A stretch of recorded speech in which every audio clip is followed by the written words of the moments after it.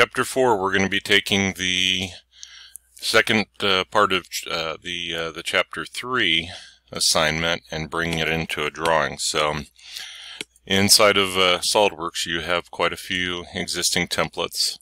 Some of them are better than others. Um, I have, okay, so on this system um, I have all my templates and somewhere I turned off the, uh, the defaults. So if you have a standard drawing, it should come up and ask for the part location.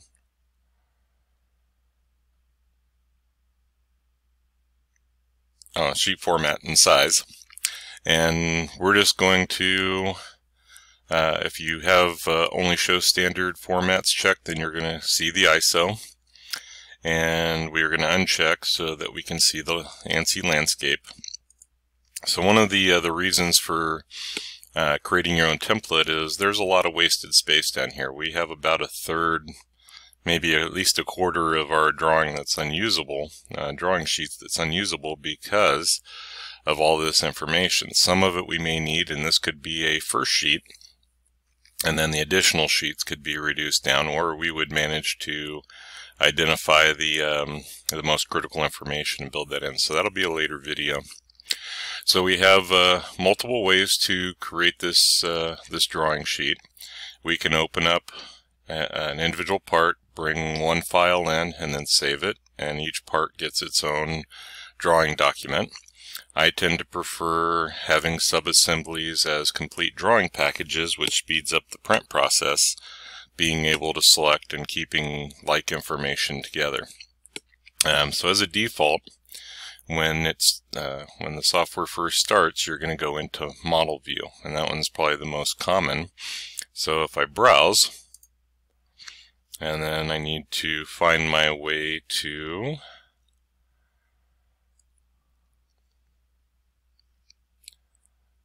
to my parts. And that was in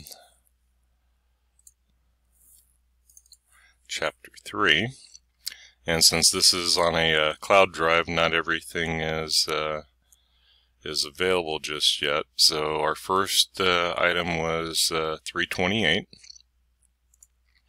And so when I select that, it's going to ask me first for the configurations if there are any, and we'll see those in the uh, the chapter 5 assignment as a as a method of managing parts.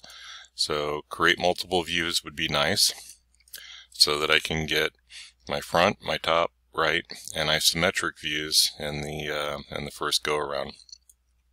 Um, for mirror, uh, I don't recognize that one, so that must have been new for 2019. We'll see if it carries over into 2020. Import options, if there are annotations, anything that came from the uh, the part or that we inserted into the part that we had intended to, to use. And then the display style, typically we're going to do, I like hidden lines removed. If there's information that is going to be helpful, then we could have hidden lines visible or shaded, but keep in mind that if you are going to make um, uh, print packages, hard copy print packages, that the shade is going to take up a lot of ink. So uh, you got to kind of uh, uh, gauge how uh, how how useful that's going to be. Using the uh, the sheet scale, so we'll talk about sheet scale in a second.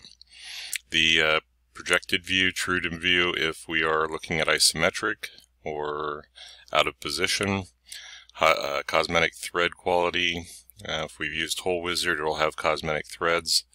Um, Interesting that neither one of those is looking checked, so I guess it defaults to one. And then, is there something that should be excluded from automatic update? And last, save view as if you want to um, extract just that uh, that bit of information. So I'm going to go ahead and hit OK. Now, when you do this, you, well, obviously our scale is a little bit big, and there may be information that we don't need. So from the um, the side view, are we going to be able to put any dimensions, any useful dimensions on that, or is it just for reference? I don't know that that's going to uh, to help me. I'll leave it for now and we'll see what we can uh, do with the dimensions. So for the assignment, oh, and this is a little bit big, so I'm going to see what half scale looks like. And that shrinks it down to where it fits into our work area a little bit better. And I can move these around. Each of the views is aligned, so as the front view moves, the top view will stay in alignment. And as the front view moves, then the right view will stay in alignment. They can move somewhat independently up and down, left and right. But that's about the, uh, the extent of what we get. So, um, based on, uh, on this information, I'm not looking for full detail drawing, but there should be enough information to um, be able to make this part. So let's go with a across. And right now we are in inches, pounds, and seconds. So you pretty much have to decide, since some of these parts were in metric, uh, if you want to detail in metric, go ahead and detail in metric. Otherwise, we're just going to uh, stay with the inches and two decimal place. And so if I put a few for the width, and that's actually not the depth that I wanted.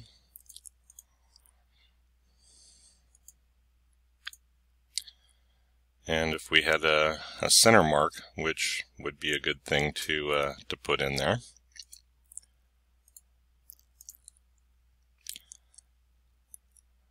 So at least initially I'm not thinking through all of my detail process. I'm just going to put a few dimensions on to get it started.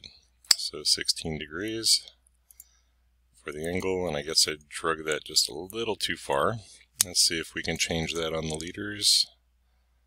Don't think that one's going to come back around, so I'm going to delete it. Go back into the smart dimension. Let's make sure I stay in between the, uh, the extension lines. Okay, so for what we're doing, that uh, that will get us started. At this point, I could save this as P3-28 and open up another another drawing template and go to the next uh, uh, next part and save again. It depends on the company policies, strategies for creating documents. So in this case, I'm going to go ahead and add a sheet and it's going to carry over. My next method of inserting a drawing is to, or inserting a part into a drawing is to go to the view palette. Since nothing is currently open, then we need to make the selection. Hopefully it will default back to where we were. I don't have to navigate back. And then I'm going to pick 329 and open. So the advantage of the view palette is it's going to show us previews of those views that what would I like to be the primary or the front view. So if I bring that one out and then go to move, we're going to start into a projected mode where this is going to allow me to click and place additional views and when I'm done I hit the green check mark. Alright, so same thing, we're going to apply a few dimensions. There we go, let it catch up. Diameter. We'll set the, uh, the depth and a couple of widths. Alright, so I mentioned center lines and center marks, so this would be a good place to introduce those. Up on our annotations tab, go into the center mark, and when I pick, then we can accept. And if I go to center line, then I'm going to pick an edge and an edge. And that's going to give me a center line through that geometry, which I can then stretch to go through the uh, the entire uh, the entire uh, body. So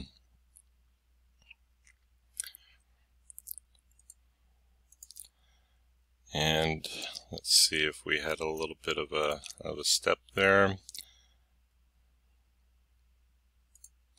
So that one went to radius, so that was just uh, halfway.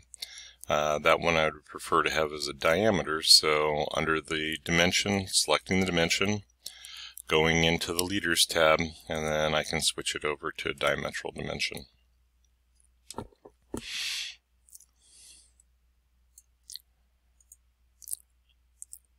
And then somewhere, nope, put the, uh, say the width, and then without getting too far into the geometry, if I wanted to position it off of center line, then I can do the, the half. And that gives us some control over the, the position of that geometry.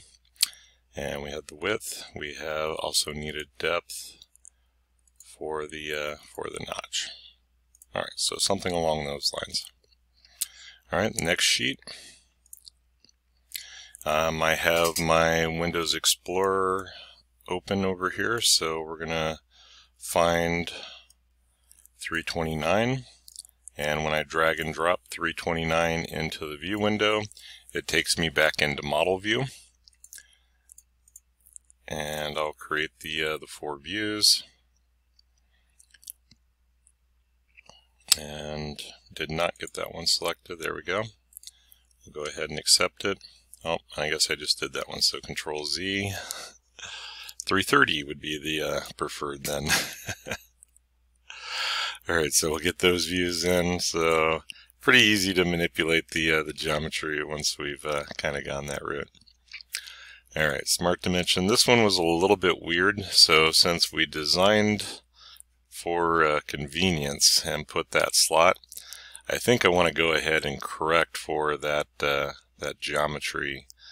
Um, we'll do that now. So get a diameter. Also, I am in the ISO mode. So that ends up being a, a half inch. Uh, with ISO, if I wanted to be in ANSI, we're going to switch over the document properties, look at the drafting standard, and then select ANSI. Hit OK, and then any modifications that we make to tolerances or to dimensions, that'll that'll pick up as a modified ANSI uh, standard. When we do the uh, the hole locations, we'll go to hole callout, and that will give me a little more information as to the depth and additional geometry. So this is one of those cases, I don't know that um, having the hidden lines visible is going to be better. Since this is a flat bottom, maybe it's a little more descriptive. And the uh, group, there's not really anything that's going to, uh, to show up. But if we were to switch it to parent style, which is, I thought that would, be, would have been the default, as we shift through those, if I come back to the parent, the front view, then we're going to be able to shaded with edges, just sh shaded, hidden lines uh, removed, hidden lines visible, and then the last one, the full wireframe. All right, so that's probably there's there's places where that's useful, but that's probably going to be the most confusing. So uh, let's see, what did we uh, need here? So a center line, and then if I go in between those two, and it didn't pick, so oh, I didn't pick it completely.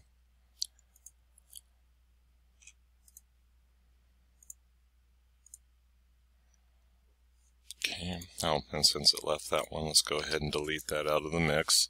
We'll extend this out a little bit, and then can do the same types of, of things with our dimensions.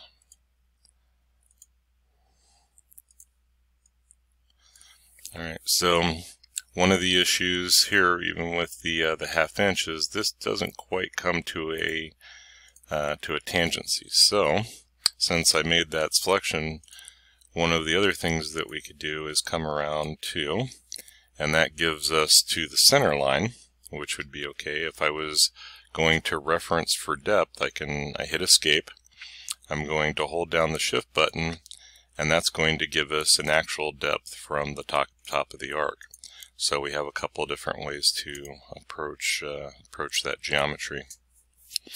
All right, and then we'll set the angle, and depending on what I select, I'm going to be able to uh, manage those uh, those geometries. So either way. And then the one that uh, comes up, if there's not, I guess, usable or something convenient, I can always pick the line and its endpoint. Oh, that was in the sketch that we got those. Let's see if I go the other way, if it'll give it to me. Nope, I was looking for the um, the construction arrows, but I'm thinking of the uh, the part sketch. All right, so our next uh, next one, we can do a. Uh, let's see if one of the parts is open. So let's see if I can. Uh,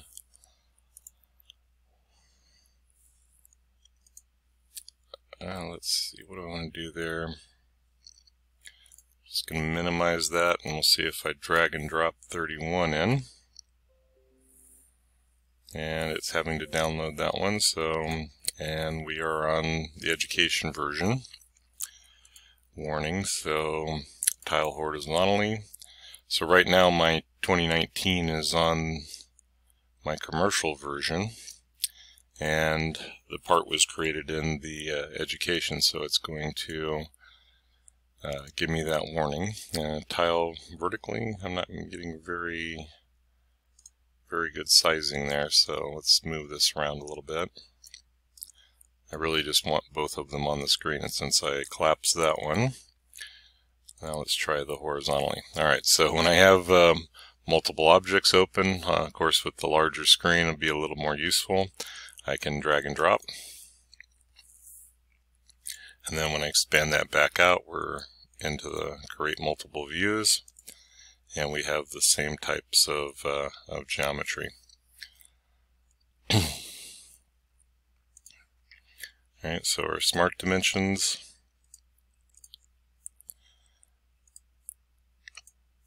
We'll put a few on here. Line those up. We'll set a, uh, a radius. And what would be useful on uh, on that one. So other than the uh, than the geometry. I guess we have enough there to uh, to get us started.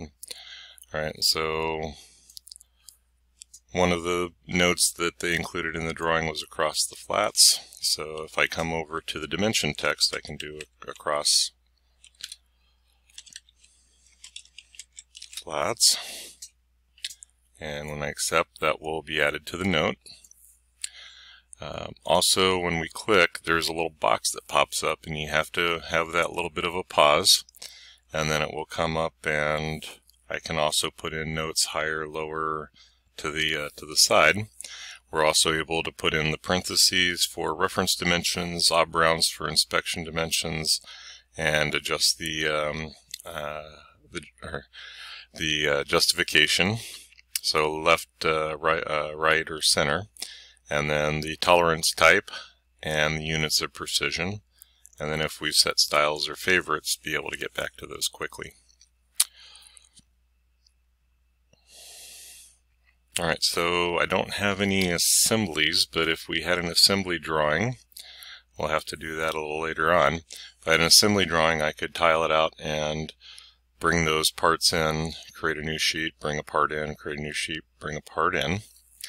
The, um, the other method, uh, if we go over to the File Explorer within, and I'm not sure, we're probably only going to see the one open, and I could navigate down all through my desktop, so let's not do that uh, again. So um, uh, I can drag and drop from that window. So let's see if um, reduce that down. We're done with that one. That was 31. I'm going to go ahead and drag in 32. And it's going to warn me again. All right, and then let's see, is it Alt Tab? Now that takes me through the windows. So Control Tab will take me through the SolidWorks files. Okay, and then that maximizes so I can, let's tile vertically this time. Alright, so since this one is open, I'm also going to be able to see it in the File Explorer underneath the Open in SolidWorks. Alright, so the ones that are kind of grayed out uh, are open in memory because this document is referencing them. The 332 is the one that is actually open and we're working on it so it will be something that I can drag and drop. And we'll set our views and then go ahead and hit OK. Alright, so through with that one, we'll go ahead and stop and let's start with a couple of the, uh, the hole callouts. So 200 through and 200 through, so identical. And then smart dimension, put a few on here.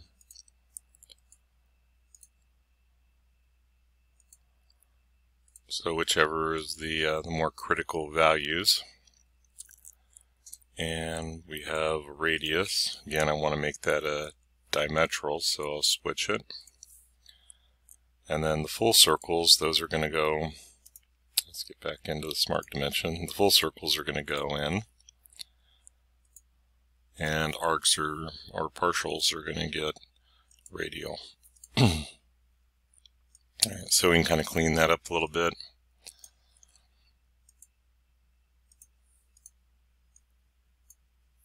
And they'll move around a little bit as we adjust.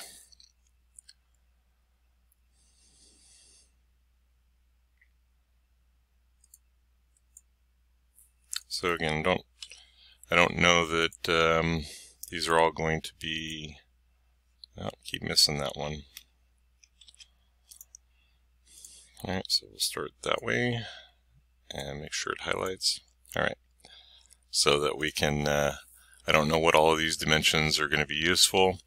We'll, we'll start thinking more into the manufacturing process on the, uh, the next go around. So I consider this an iterative process. We make a first pass, we get all of our documents, get some basic dimensions in, and then we can, um, can set up for our geometry. So I'm going to continue with the layout model view is one of the faster. So we made it to 329, or no, 332, 333, and we'll create. And said, even if I'm not going to use all of those views, I'm going to go ahead and put them in. So I can speed up the process a little bit by getting into this kind of production line mode of um, we're going to load up all of the uh, the parts. So 34.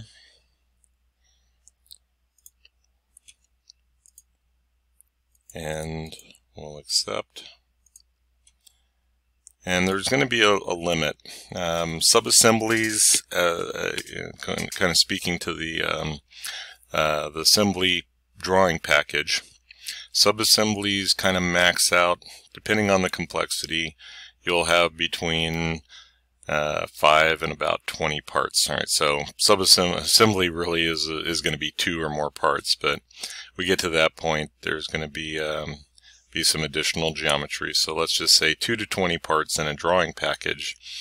Uh, 20 sheets is going to be uh, to, to start um, wearing on the uh, the processor power, having that many documents open in memory, uh, putting all of those details in, going through the process.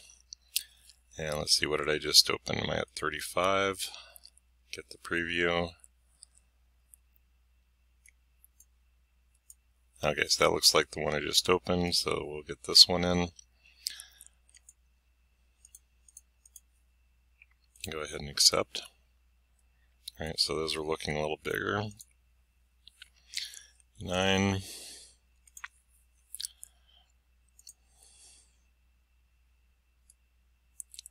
And we'll go to 36.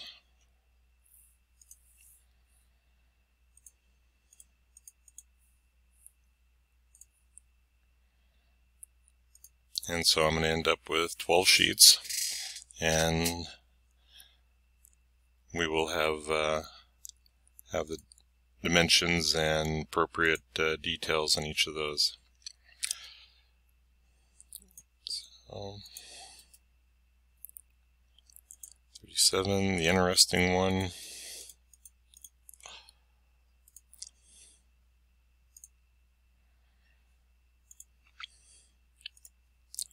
Browse to 38. And then we should have the, uh, the couple of sheet metal parts coming up, which is what I want to focus on.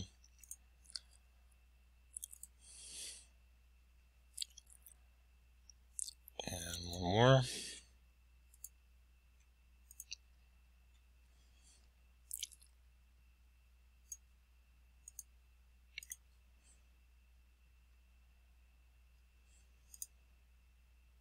Okay, so with the sheet metal part, one of the first things that I do, I'm more interested in that flat pattern. If you didn't create this as a sheet metal part, that's okay. Uh, you're not going to get the flat pattern. Hopefully one of them you did, so I'm just going to um, also create a couple of views. And this is going to be kind of a jumbled mess, but I'm expecting that. And it brought them all in as flat patterns, so that wasn't quite the desired result. Uh, let's go ahead and we will set that one back to the default and back to the default and I'll get this organized a little bit better. The main thing is this is going to create a sub configuration inside of the part that has this flat pattern and that can be kind of handy so uh, let's go ahead and change that view over to default. Alright, so usually I just bring in the flat pattern and then I decide what views might be useful and uh, go from there.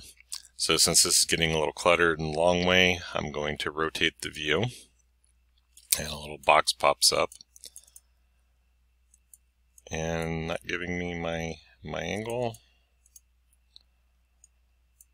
Alright, we'll try that again. There it goes. So, did something when I uh, and then hitting uh, enter tab will show you the preview and then I can apply it. So it gives me a little more room on the, uh, the screen and once I set the scale that'll work out a little bit better. So if we go back and open this part then come over to the configurations I'm going to see an arrow and then there's going to be the default. So if you're familiar with sheet metal, when we do the, uh, the sheet metal, if I flatten this, that puts an actual change in this configuration and then unflatten it. Whereas if I have that default sheet metal, it is flattened just in that configuration and I can go back and forth without um, modifying or messing with any of the other other geometry. And I don't think I need to save that. Nothing really uh, nothing really changed there. Go through all the warnings, let it figure out what I just did. Well, that one. There it goes. Took it a minute to update. All right, so with the flat pattern, we get the um, the notifications that we have the bends down. Uh, there's always been a little bit of a point of contention. So uh, pretty much the way that those uh, those run. If we have reverse, then um, they will also be labeled up if they go opposite ways. All right, so one more sheet, and then the um, the model view. We'll browse and we'll bring in 340. So pretty quickly we can get our our first pass. I'm going to let you guys go through and do the ones that I jumped over. We do need to put in a detail view, so maybe I'll go back to, uh, to one of those. Okay, so my model view. And then this one should still be sheet metal since I did not put in, oops, did not want to do that one. Got an extra, we'll bring in another model view and it's already set to 340 and there's nothing under the default so I haven't created the flat pattern. We'll accept the flat pattern and then I'm going to place it. Okay, and let's go ahead and rotate that and because this is an independent view and maybe a little more critical I'm also going to change the uh, the scale on it. So right now we are 1 to 2. I'm going to switch that one back to 1 to 1 by telling it it is a custom scale and one to one if I needed to make it three quarters I could do a user defined and say three quarters alright so if we come out to the side it's a little bit cluttered sitting on top of the part and I want to add a leader. We'll come back and it'll pick about the midpoint of the bend line that's interesting that it uh, deformed a little more. Oh, this was the example of across the bend and through the uh, through the geometry. So that makes sense that the geometry a little bit uh, different that way. All right, so on this one was modified. So the uh, the detail actually showed this line coming off uh, parallel to the base. That's going to increase the complexity of the manufacturing process. So we had to make a decision on the uh, the design if I need relief. Uh, am I going to make this more manufacturable or do if I have to have that angle, it's going to make the part more expensive. Alright, so we come over to our smart dimensions, then we're dimensioning just like we've uh, we've done on the other parts, a hole callout. Those types of things are all going to go into the mix. Alright, so uh, a couple of uh, things to be aware of then. Let's uh, jump back, see where I left off. Mm, find something uh, kind of interesting here. So let's go ahead and uh, do the, the sheet dimensions. So that globally changes uh, all of the, uh, the sizing.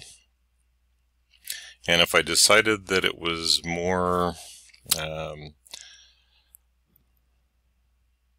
uh, a better view or a better layout, to have one of these in section view, I could switch this over to the top view. It's going to warn me that everything's going to going to change.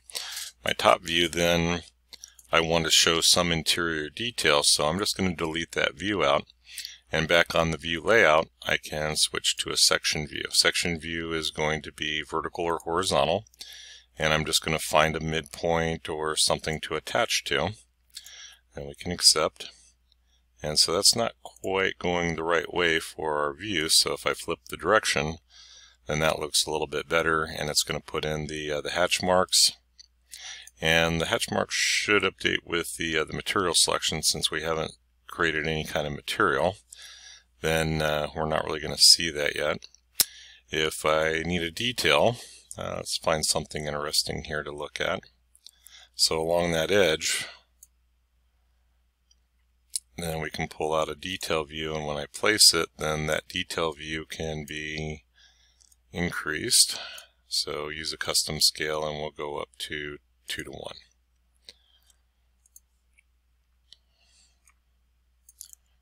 Alright, so maneuver those something of interest along that uh, that edge that I wanted to show. And then um, always kind of adjust these the section AA uh, that always looks a little bit weird on the proportions. We can go back up to the options and under the document properties and dimensions we're going to be able to find find those under the annotations. We'll have the balloons the datums.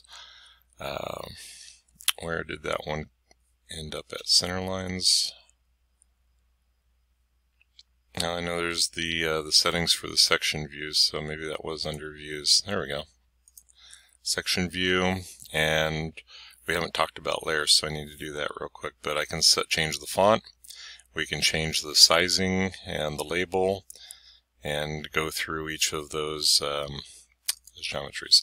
So I'm not concerned with the um, uh, the layers at this point. Um, if you have not turned layers on we can come up into any of the gray areas and search down through here and you'll find the layer. If you check that, it's going to turn this box on.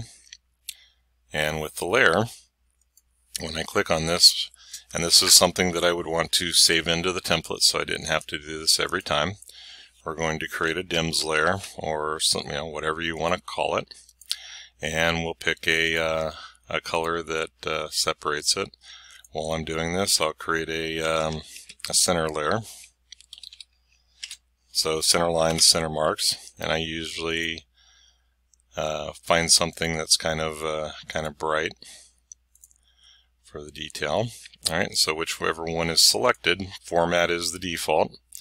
And now when I go through and I'm in the um, the dim layer, I can set my dimension, and it's going to show up in the blue. When I set to the center layer, then we can set a center mark for our geometry. That's going to be okay. And then if I find I jump over to uh, another dimension and place it, it shows up, oh, jump back to the dims for me. So that was nice of it. Um, doesn't always do that, so I was just going to make the point that I'm going to position this down out of the way. Uh, that if I highlight this, then on Other tab, I can switch from center to, to dim, and I'm going to be able to change those colors or those properties to the mix. All right, so this will go uh, fairly quick. You know, the idea is just to get into the workflow, figure out the process, and be able to apply a few uh, dimensions and uh, create your detailed drawings.